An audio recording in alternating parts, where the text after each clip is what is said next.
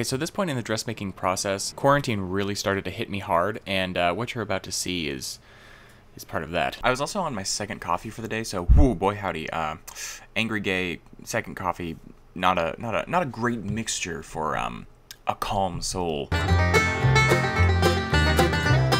Yeah, guess who's back in the closet? If this bit is bad, I might just toss it. So I find myself back in the closet again. Not for the reasons you might think. I did not need to change the location, but what did happen is that an individual came to my house who shall remain nameless and decided to make naughty brownies. And so my house smells like a Rastafarian Christmas. The light is so bad in here, but it smells so naughty out there.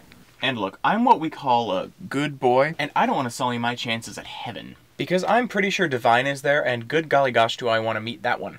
Also, I have an irrational fear of what some might consider cool people, which is why every time I ever purchase naughty plant or any other uh, naughty substance, I would always feel super nervous, especially because they always tried to talk to me. And it just felt weird, like every single purveyor of naughty product for some reason seems to want to be friends. And I don't want to partake of the naughty product with the purveyor of the naughty product. Someone getting shot? Like, I don't want to hang out with a guy who sold me my car. I want to drive around in my VW Jetta with you, Chet. I'm sorry we don't have that kind of relationship. But anyway, you're not here for all that. We're back again, and I'm finishing up the dress. Um, I still have yet to put the skirt on and just sew all the little little bits and pieces together. Anyway, let's get to work. Hi, I'm standing now. I know that the exposure for this video has been all over the place, and that's just because I'm lazy. I didn't go to film school to change the exposure on a camera, okay? I went to film school to start a failing YouTube channel. I am like, I am like ghostly white. I'm egg white. But anyway, the reason I'm in here and no longer in the closet is because I can't I can't I can't get into the office. I can't enter into the space and use it for my own my own purposes. Which I don't understand because my boyfriend knows full well that when I entered into this home, I was allowed to sleep in his room and the office was essentially mine, okay? I don't pay rent on the room that I sleep in, I pay rent on the office, which is the only available room. I know that doesn't make much sense, but my with my roommates, and there's so much noise going on in here. I know you're asking Tyler, why couldn't you just split half the rent of his room? Um, because his room is like $14,000 in rent. And guess how much money I made on my last YouTube video? That's right, four cents. So I'm gonna have to be very sneaky about this. Hmm. Oh, hey. Hi, how you doing?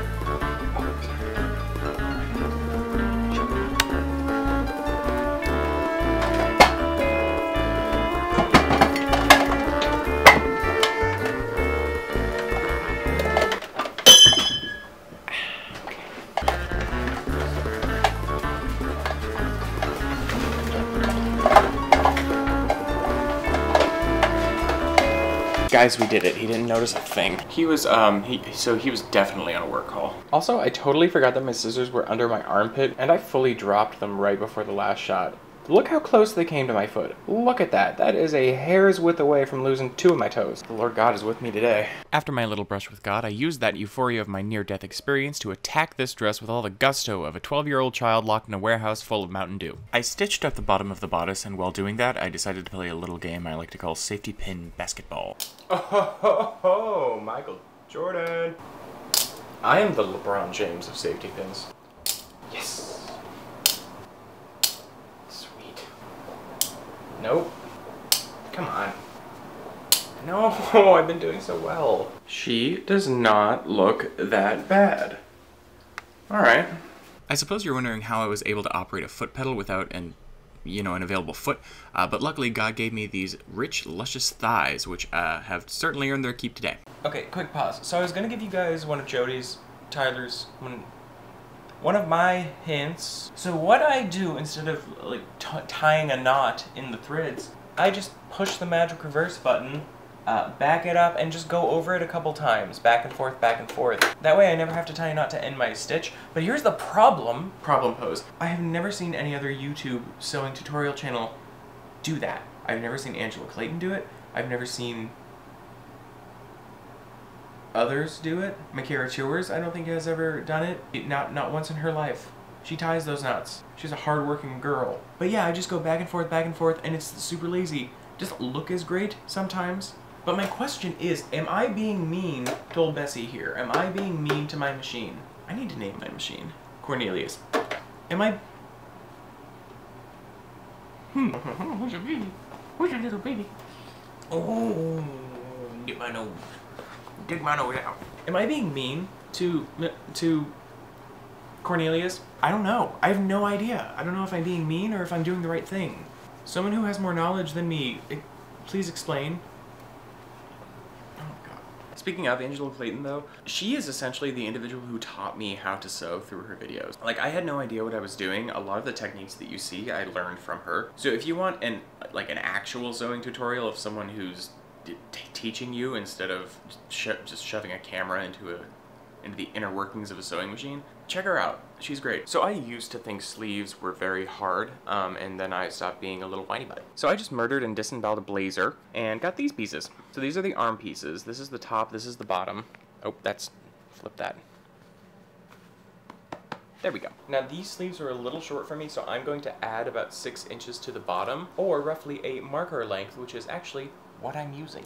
I'm giving myself um, a little over an inch, which is plenty of seam allowance for this. Just because for sleeves, you can, you can, you can, you can, my god, I cannot make words. It's fine if the sleeves are a little too big, you can always take them in. The problem is you, it's, it's so, it's a pain in the butt to put fabric in to make the sleeves bigger. So always make them wider. I have three markers. None of these so far have been working, and I never know which ones do work and which ones don't, so I just grab a handful.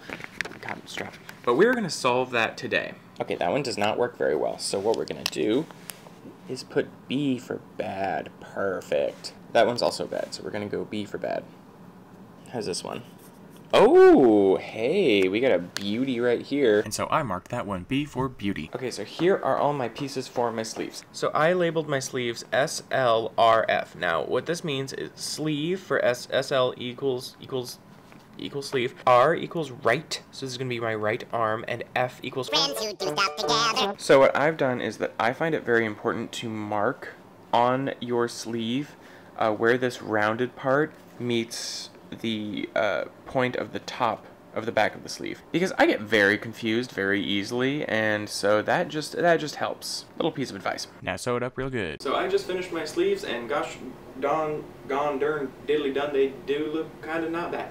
I do say so myself. So I realized that I need to take one sleeve in a little bit because it was far too loose on my forearm, and um, I kept, I just, I kept trying, and good, good, good golly gosh, it's like rivers in the Amazon. So yeah, I took this sleeve in a little bit at the forearm. The other sleeve on my right arm didn't need as much taking in, and that's just because this forearm is bigger than this forearm for reasons. It's because I like bowling. Get your head out of the gutter. Fun story, I actually do not like bowling due to one very specific evening where I decided to go bowling with my friends. What we did not realize is bowling league was happening that night and oh good lord, when we went in, the mullets were out. We were asked politely to leave and boy howdy did we turn around and ski daddle on out of there. And I kid you not, the assortment of mullets around us began clapping as we left. It was very strange, and I've never experienced anything like it before. So I don't want to do lining for this sleeve, so we're just going to do a rolled hem, which is my favorite kind of hem, and let's go tell it on the mountain is playing. Get it? Him. Wink.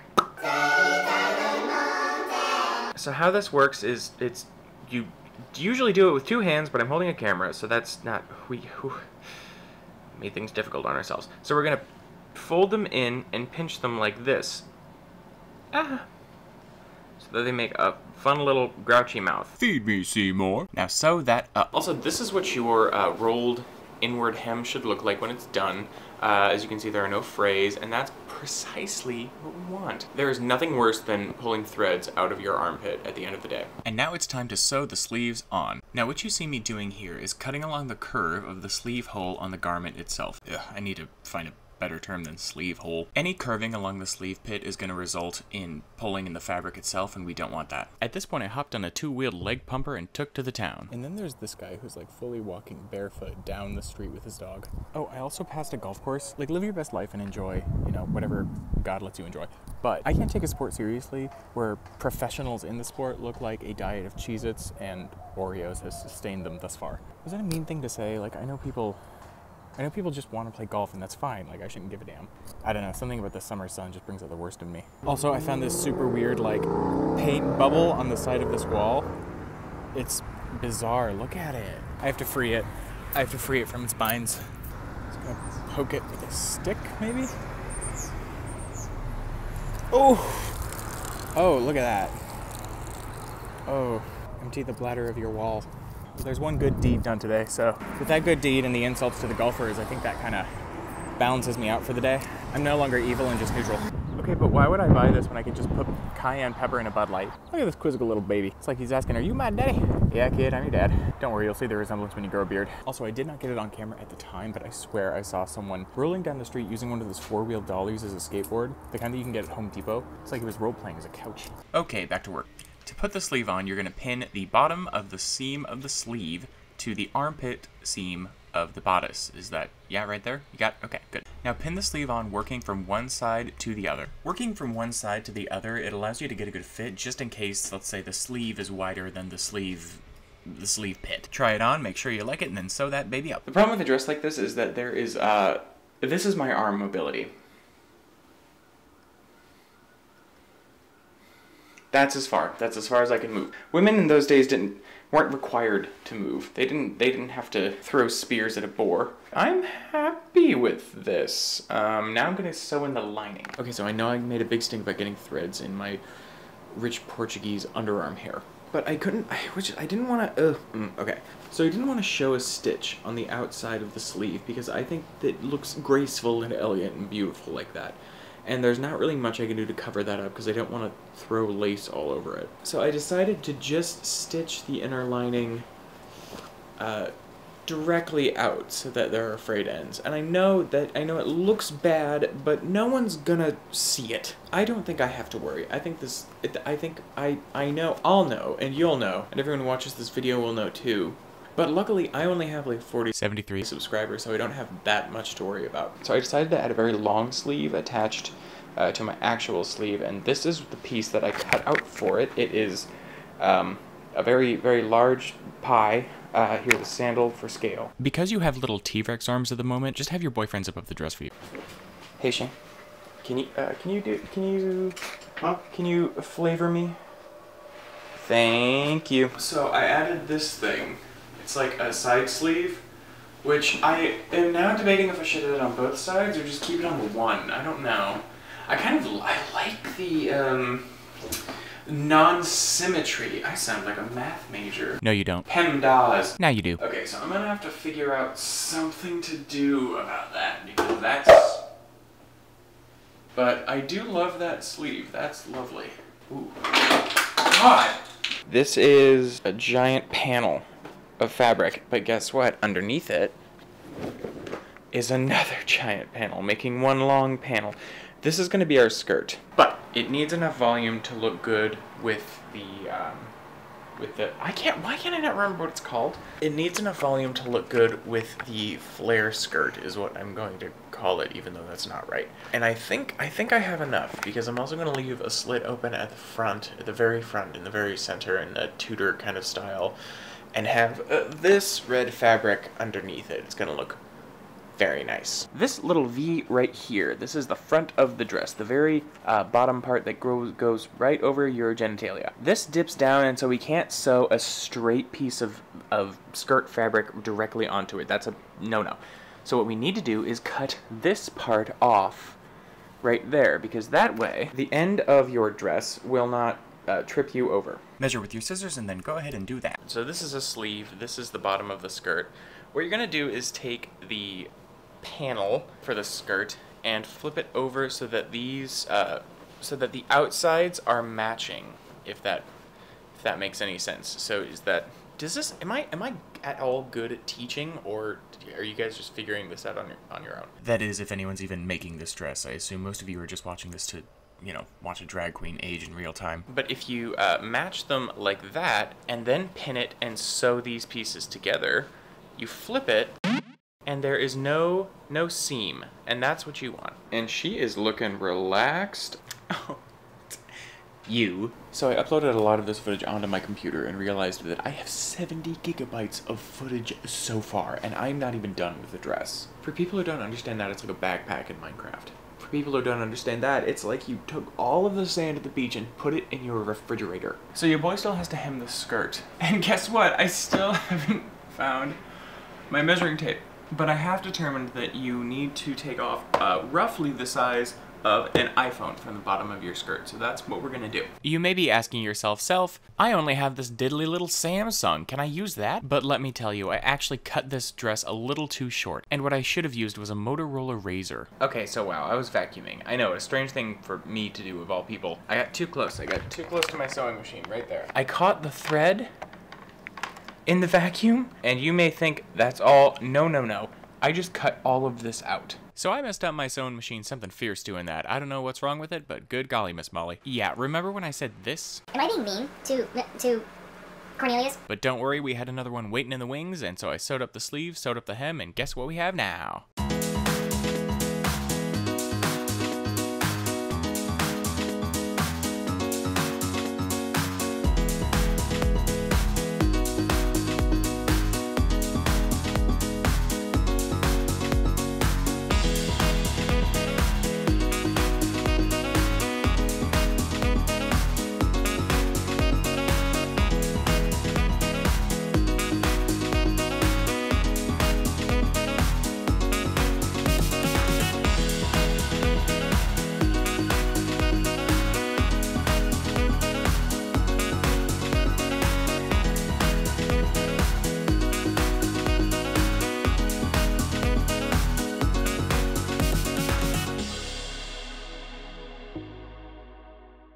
If you want to know how I did my makeup, I just reversed the footage of me taking off my makeup, so just slow this down and watch that, and there's your tutorial.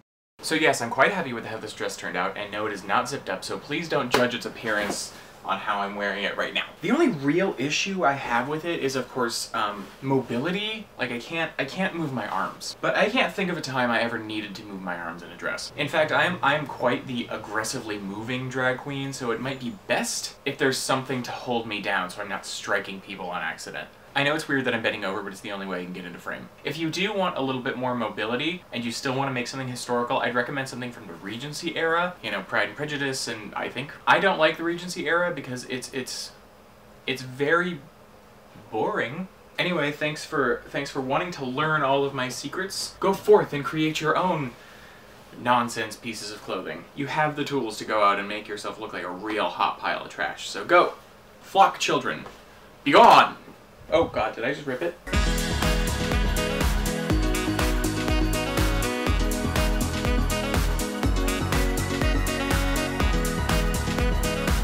So I forgot to mention, in order to finish this dress, you will absolutely need someone to help you zip it up. Because let's just say this is not the dress to be fighting in.